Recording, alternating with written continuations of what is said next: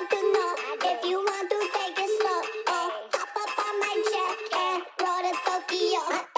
If you watch Korean dramas or movies, you've probably come across these scenes in almost all of them. Wine, whiskey, vodka, there are so many types of alcoholic drinks around the world. And in Korea, soju is considered the national drink that simply cannot be left out when talking about Korean culture. National liquors are usually known to have high price tags and are perceived as luxury drinks. But Korea sojus only cost 1,651 per bottle. Moreover, the Korean liquor brand Haichinno's Chamisul Soju enjoys an unrivaled popularity as the world's best-selling spirit. Jinro, the world's best-selling spirit. How is this possible? Back when food was scarce, products that required a lot of farmland were always a symbol of wealth and prosperity. Since Korean liquids were traditionally made from rice, when there wasn't even enough to eat, it was heavily criticized in the old days. For example, if they made alcohol with rice that could feed 100 people, it meant that many people were left starving for days. And when the country was hit by extreme poverty in the 1950s, right after the Korean War, making alcohol was just unacceptable. So in the 1960s, the government introduced the Grain Management Act that banned the use of rice when making alcohol drinks. As a result, companies began to produce diluted soju to replace the traditional distilled soju. The average South Korean aged over 20 drinks 87 bottles of soju a year or 1.5 bottles per week. In the beginning, the alcohol content of soju was over 30%, and it was widely seen as a drink for only the strongest men.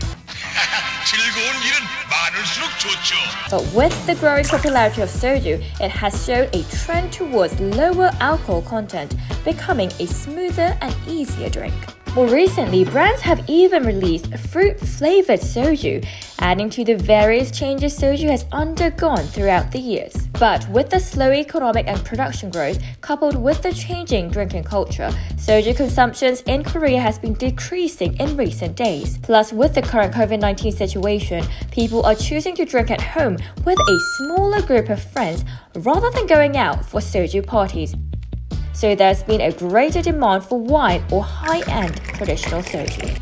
To find new sources of profit, Korean liquor companies have turned to the global market by exporting their soju products. In fact, exports to the US, China, Japan, and Southeast Asia have been on a steady rise.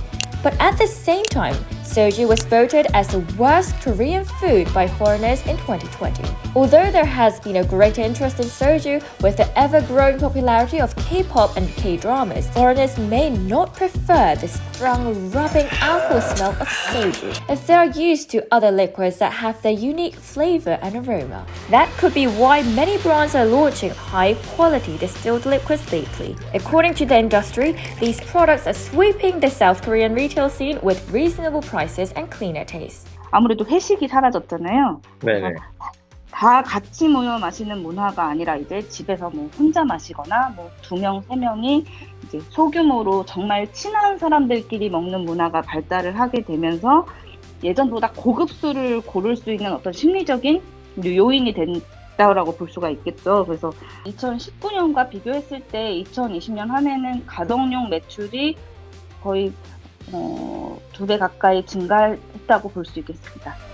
The cheap, bitter soju has been Koreans' best friend in times of both sorrow and celebration over the course of the nation's history. So it's exciting to see what other transformations are waiting to captive us in the future.